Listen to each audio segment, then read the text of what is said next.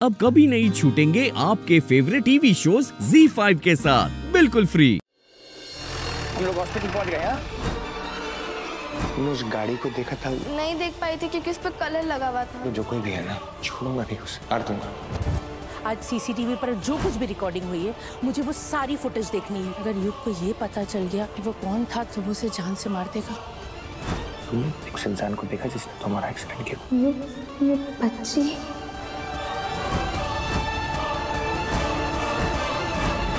Z5 app download करें और देखें सारे एपिसोड्स बिल्कुल फ्री